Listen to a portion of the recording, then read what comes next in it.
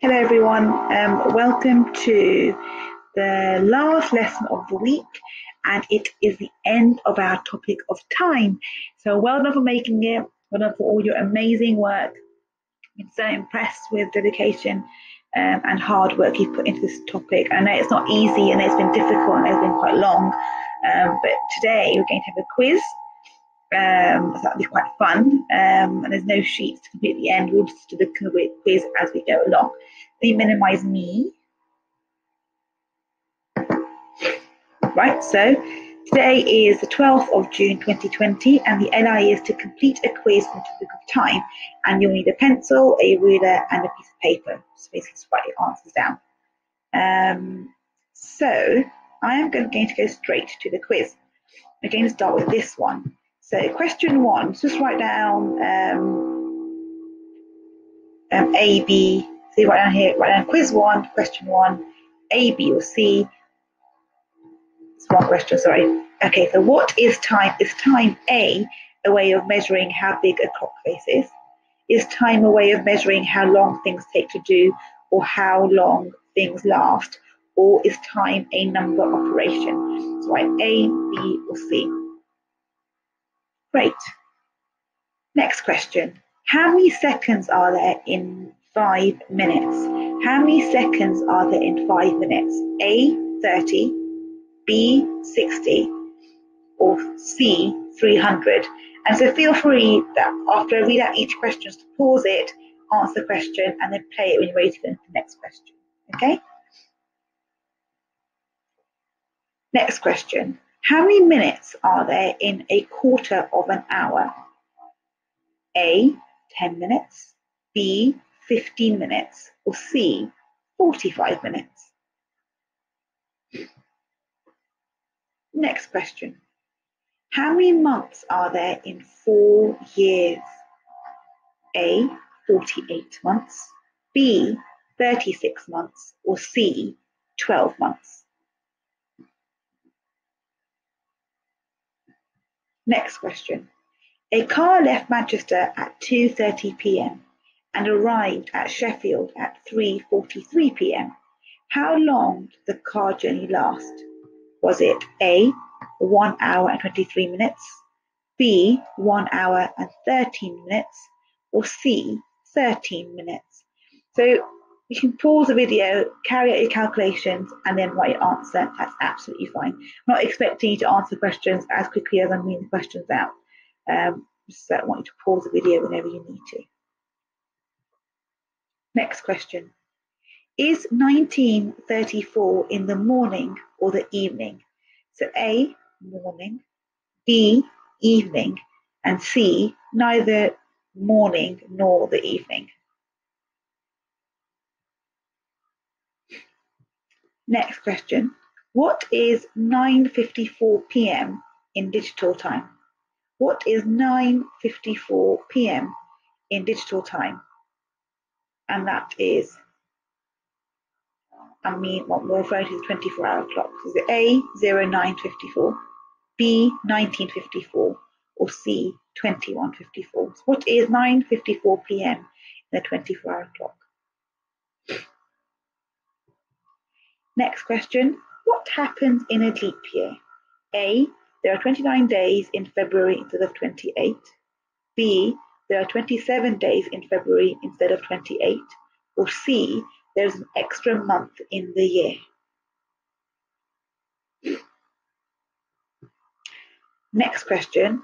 What is the main difference between digital and analog time?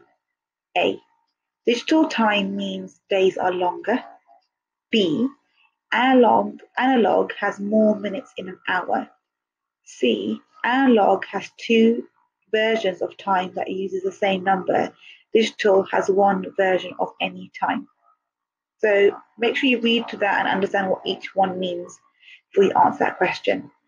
And the final question for the first quiz is what time is midnight in analog time?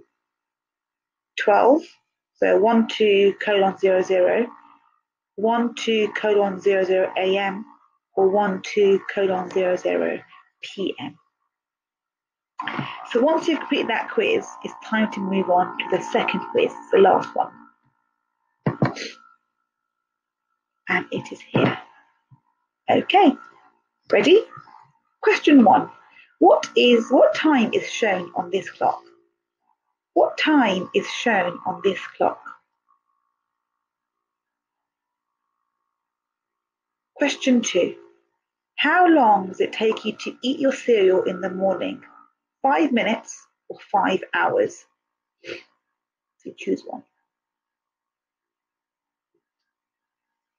Question three. If today is Friday, which it is, what day was it yesterday? Oh and you got a little first thing. Woohoo! It's Friday. So what was the day yesterday? Question four. Write down a time using AM or PM and in a 24 hour time. So 7.30, time for supper. Write down 7.30 using AM or PM um, and in the 24 hour clock. How many weeks are there in a year? How many weeks are there in a year?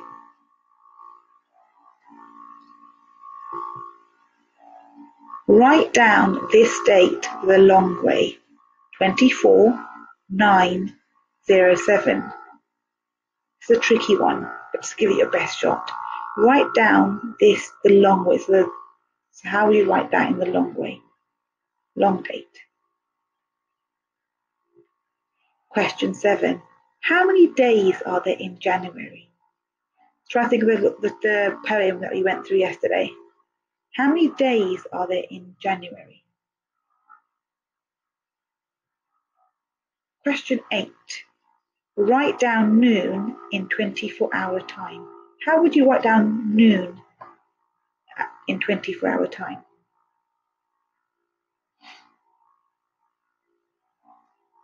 What time is shown on this watch? What time is shown on this watch?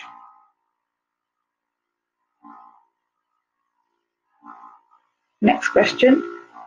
If today is Tuesday, what day was it four days ago? So if say today was Tuesday, what day would it have been four days ago? Next question. How many hours have passed from the time on the first clock to the time on the second clock? How much time has passed the time on the first clock to the time on the second clock? Lapsed time.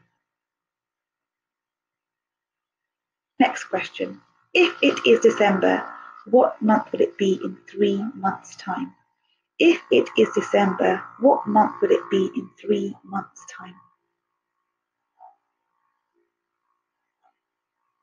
Next question.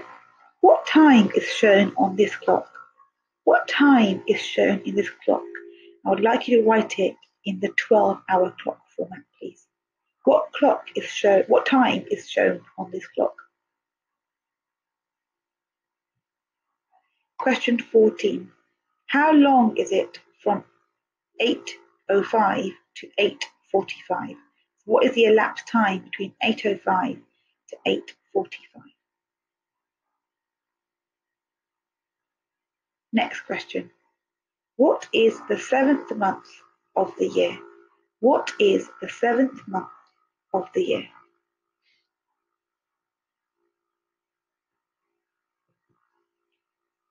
Next question. What season is shown in this picture? So try to remember the season that we, we spoke about yesterday and which season do you think is shown in this photograph here? Next question. Using the 24 hour clock, write down 4 p.m. So write down 4 p.m. in the 24 hour clock format.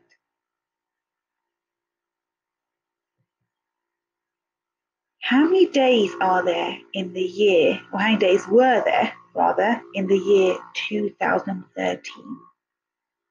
So remembering when I told you it was the last leap year, start working backwards, and how many days were there in the year 2013? Question 19. What is the 11th month of the year? What is the 11th month of the year? Next question. How many days does February have if it is a leap year? How many days does February have if it is a leap year. And your final question. What season could this be? With little chick and daffodils. Which season could this be here? And that is the end of your quiz. Now, obviously, I'm not expecting you to go through the quiz as quickly as I read the questions. Um, I wasn't need to pause as I would normally in class, but I expect you to pause the video and answer the questions like I have said. Um, and once you have all the answers written down for your two quizzes, then please take a picture of your answers and send them across to me at year three at grange.harrow.sch.uk. Can't wait to see um, your answers. I know you guys have done really well. You get a few questions wrong, that's fine. If you're stuck on some questions, that's fine. That's what quiz, quiz is all about, is to give you a challenge.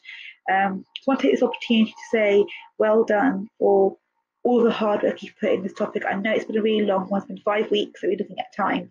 Um, but we start our next topic, um, a new topic next week, topic of capacity, and we'll talk about in, talk in more detail about what that means. It's all in under the umbrella of measurement, um, but instead of measuring time, measuring capacity. So um, I haven't got a challenge for you today because I think you've worked so hard as it is. And all that's left to say is have a wonderful weekend. Okay, I will see you next week with our new topic of capacity.